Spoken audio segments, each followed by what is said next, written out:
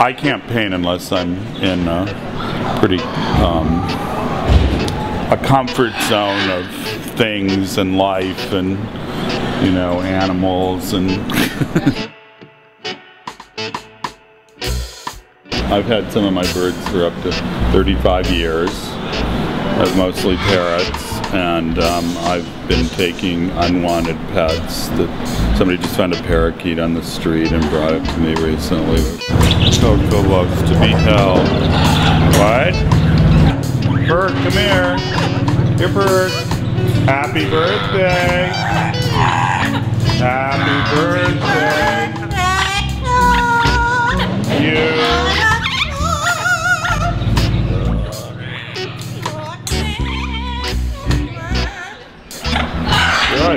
Bird.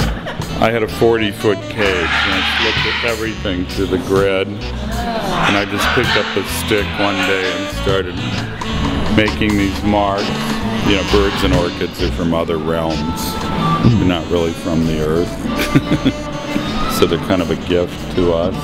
You know, the birds are a lifetime commitment and beyond.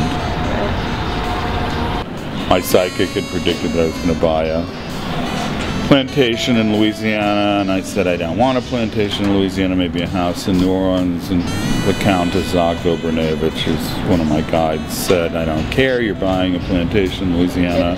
And I've restored it very beautifully. And um, I'm a junkie for period furniture. And then I get these guided messages to paint things. They wanted a procession of angels.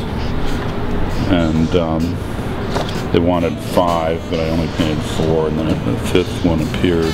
Even as a child, I saw things like Iolani Palace.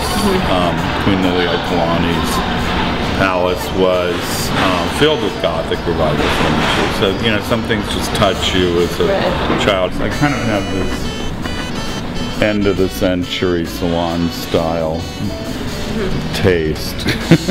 These are all 19th century frames, mostly Eastlake. They're all rabbits. I um, went to India quite a bit in the 80s and studied at ashrams uh, and we would, you know, I do japa, repeating of mantras every day. In fact, I was just in Istanbul and I got a Sufi mala and went to some very sacred things and I'd wake up every morning and do mantra repetition. You know, people think repetition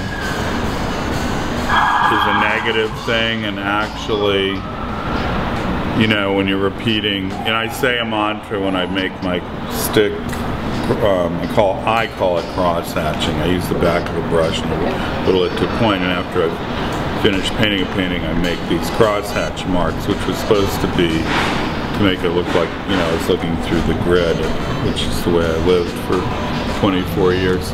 But um, I believe there's something sacred about repetition, and I always believe there was something sacred about turtles, which I could never eat a turtle.